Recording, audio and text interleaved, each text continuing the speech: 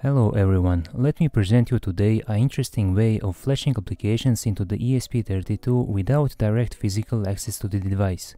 And everything will be done over the Discord server. There will be a bunch of useful informations in this video, so stay with me after the intro.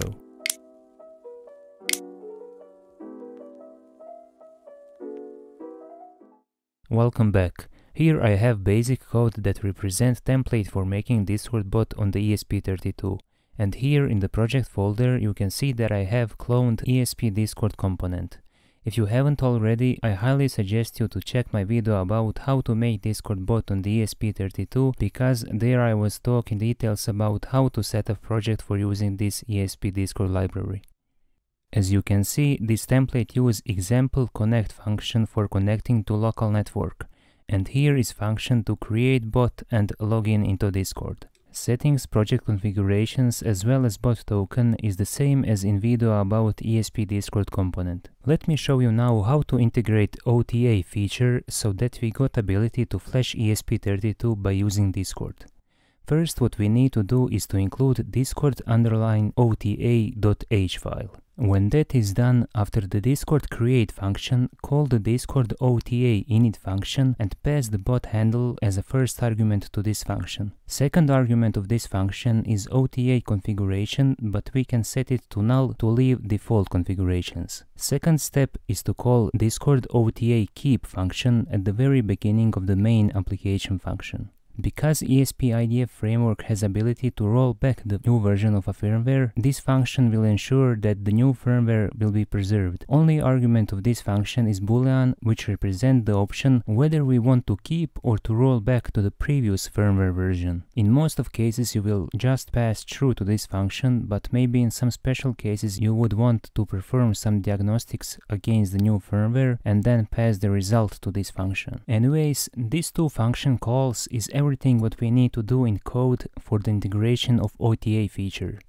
The version of application is stored into cmakelists.txt project file, and as you can see, version of my app is currently 1.0. To be able to download new firmware, make sure that you have enabled next option inside of idf.py menu config. Under the partition table, enter this first option with name partition table and choose factory app to OTA definitions. That will make necessary OTA partitions inside of ESP32.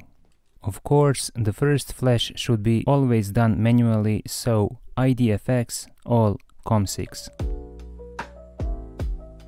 Bot is connected to server. Great. This is how we can now interact with OTA. First, what we can do is to ask about current status with the next message. This is the format of OTA commands.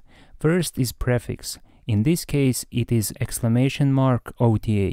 This is default prefix, but it is configurable. Second part is mention of a device on which we want to perform OTA. And third is a subcommand, in this case status. Okay, let's send this. Bot will respond with very useful informations like version of running application, time of compiling, IDF version, uptime, free heap memory, etc. Bot will send feedback in most of the cases. For example, if we send OTA command but we mistakenly send wrong subcommand. Here is the descriptive name of the error where it says that subcommand is invalid. To perform actual update, we need to send new binary application as an attachment. Remember that I'm using WSL2 for building ESP IDF application, so for finding build firmware I can just execute explorer.exe. inside of project folder. That will bring me up Windows Explorer located in my project folder. I can go inside of build folder and there is application firmware. Now I can just drag and drop this into Discord. For the text we need as well write correct format and that is exclamation mark OTA mention of the device and then update.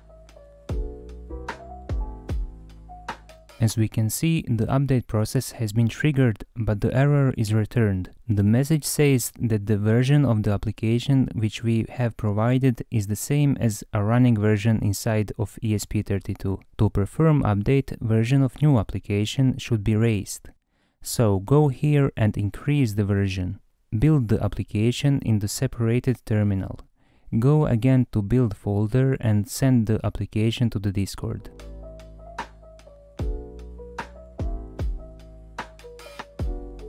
This time validation passed successfully and ESP32 has started with downloading our app. Once when the download is complete, ESP32 will perform validation of the downloaded image and if everything is okay, it will be mounted into the boot partition and ESP32 is gonna to reboot. If we now invoke status subcommand, we can see that ESP32 is now running a new version of the firmware. Nice, let's now discuss about a little bit more complex situation.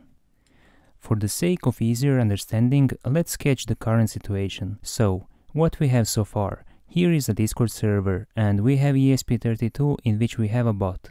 Bot is connected to the Discord, and on the other side we are using Discord application for publishing new firmware versions. When we send new firmware version to the Discord server, server will forward firmware to the ESP32 and update will be performed. That is pretty straightforward, but check this out. What if we have another ESP32 connected to the same server?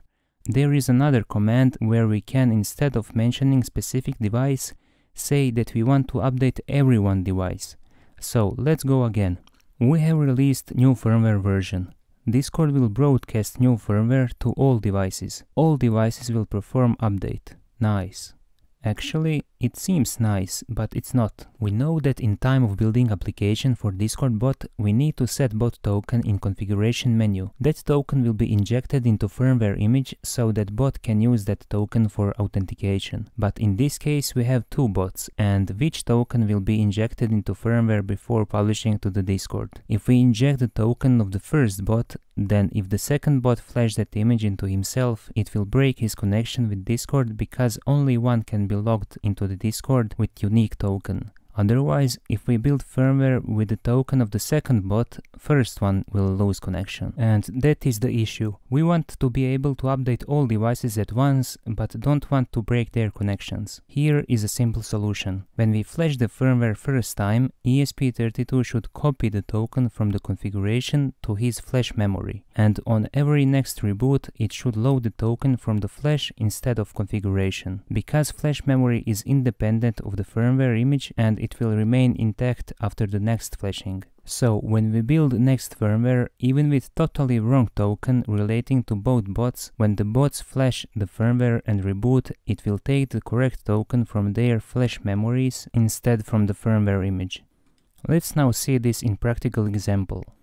For enabling feature of saving bot token into the flash memory, all what we need to do is to introduce OTA configuration with property OTA multiple set to true and pass configuration property to the OTA init function. For the sake of better presentation, I will quickly write down the part of the code that will blink the LED every one second.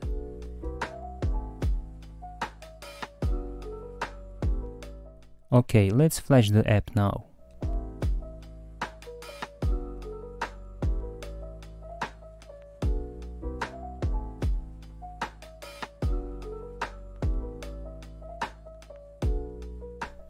LED blinks and bot is connected to Discord. We can notice here the message which says that token is loaded from the configuration. Later you will notice here that the token will be loaded from the NVS memory instead. That means the token will be copied from configuration to flash and every next time it will be loaded from the flash, what is exactly what we are expecting. Great, let's flash the same app to the second ESP32, but this time we need to set the token of the second bot so the second ESP32 can copy correct token to his flash memory.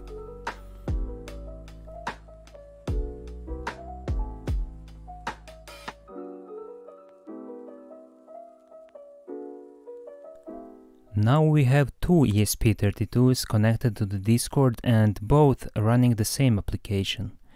Let's go now and execute OTA everyone status.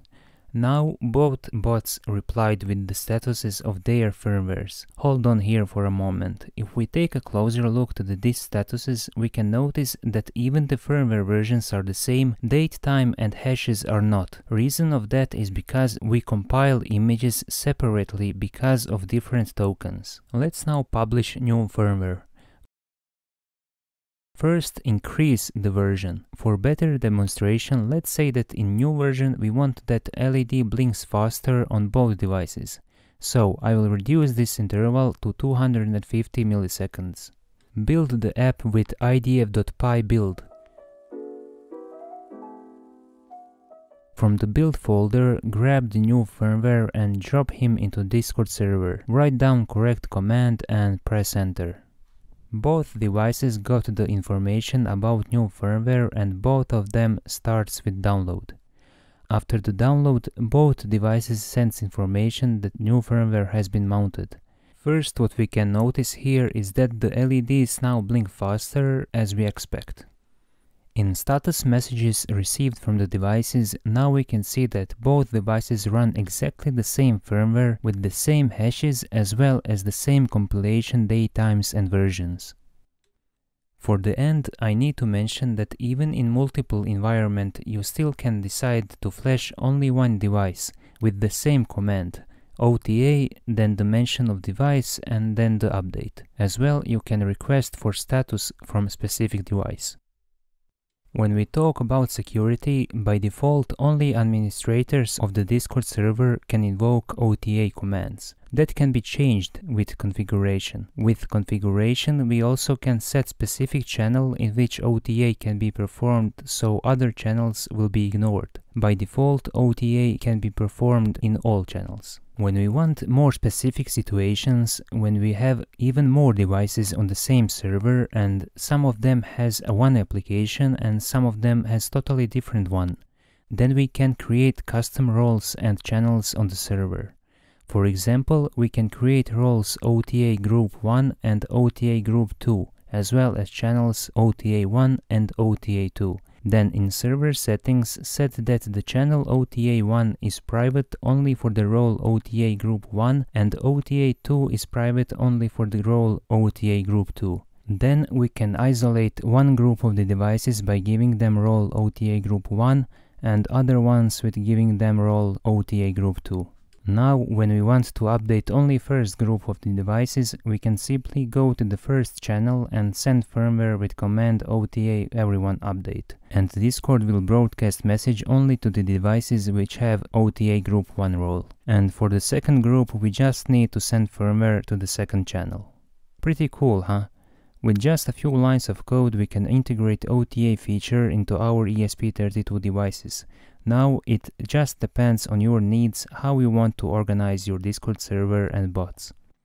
I hope you will find this video useful or at least interesting. If you do, you can write some comments down below, leave a like or support me with a subscribe. Anyway, thank you for watching and till the next time, see ya!